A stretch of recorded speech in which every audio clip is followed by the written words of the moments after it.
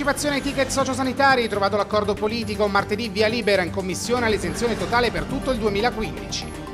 Aumento dei budget alle cliniche private, critiche da Abruzzo Civico e Movimento 5 Stelle al provvedimento commissariale.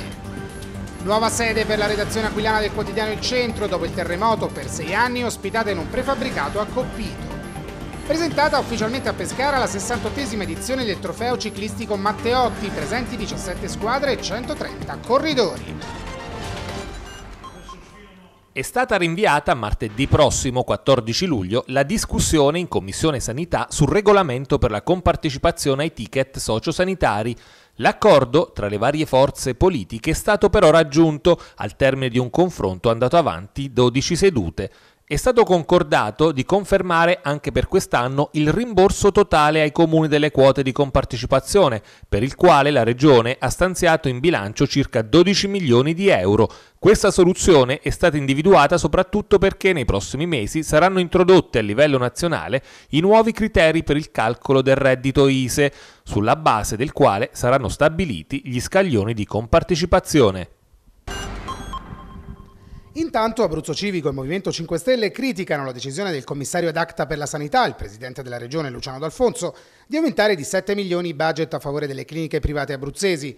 Per Abruzzo Civico, gruppo che fa parte della coalizione di D'Alfonso, le risorse potevano essere utilizzate per potenziare l'operatività dei presidi sanitari pubblici anche nelle ore serali e notturne o nei fine settimana, così da ridurre le liste d'attesa.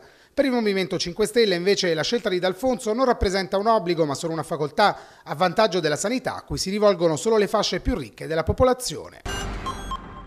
Torneranno ormai quasi certamente all'Unione Europea i circa 4 milioni di euro destinati all'adeguamento infrastrutturale di quattro istituti scolastici abruzzesi, il Savoia e il Gonzaga di Chieti, il Cuppari di Alanno e il Misticoni di Pescara. La denuncia arriva dal consigliere regionale del gruppo misto Leandro Bracco, secondo cui le province di Chieti e Pescara, che avrebbero, come previsto dal bando regionale per l'assegnazione dei fondi, dovuto iscrivere nei propri bilanci le somme necessarie a coprire il 26% del finanziamento, non hanno provveduto a farlo.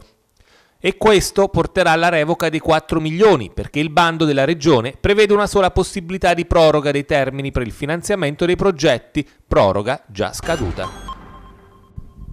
Forza Italia critica le scelte della giunta regionale sulla caccia, in particolare per quanto riguarda il territorio della provincia dell'Aquila, dove si va verso l'istituzione della cosiddetta area contigua ai confini del Parco Nazionale d'Abruzzo, Lazio e Molise. E a quel punto, all'interno delle aree contigue, potranno cacciare solo i residenti dei comuni facenti parte dell'area stessa. Per il gruppo di opposizione, quindi tutti i cacciatori abruzzesi, di cui il 90% è residente in comuni posti al di fuori delle costituende aree, non potranno più cacciare nella loro regione. Significativa partecipazione all'inaugurazione della nuova sede della redazione del quotidiano Il Centro in Viale Corrado IV all'Aquila. Dopo sei anni dal terremoto, i giornalisti del centro lasciano la casetta di legno a Coppito, che li ha ospitati nei tempi difficili dell'emergenza e in quelli non semplici della ricostruzione, per una redazione vera e propria che torna a interagire con quella parte di città che comunque sta cercando di ripartire. Punto di riferimento per la comunità aquilana, il centro darà certamente nuovo impulso alla propria testata e un'informazione ancora più puntuale ai suoi lettori. A due settimane dalla giostra cavalleresca di Sulmona, nei borghi e sestieri della città antica sono già iniziate le celebrazioni del ricco programma di quest'anno. Il primo appuntamento è stato quello con la cena rinascimentale che si è tenuta nella splendida cornice del quattrocentesco Palazzo Tabassi, appartenente al sestiere di Porta Bonomini. Per la speciale occasione il cortile del palazzo è stato allestito con tavoli, panche, candelabri e suppellettili per ricostruire fedelmente le atmosfere di una corte dell'epoca, animata da baroni, giocolieri, dame e cavalieri, tutti rigorosamente vestiti in abiti di ispirazione rinascimentale.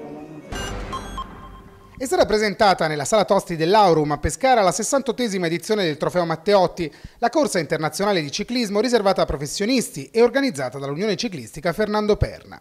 La classica abruzzese, in programma domenica 19 luglio, si anima sul tradizionale circuito cittadino che braccia i comuni di Pescara e Montesilvano.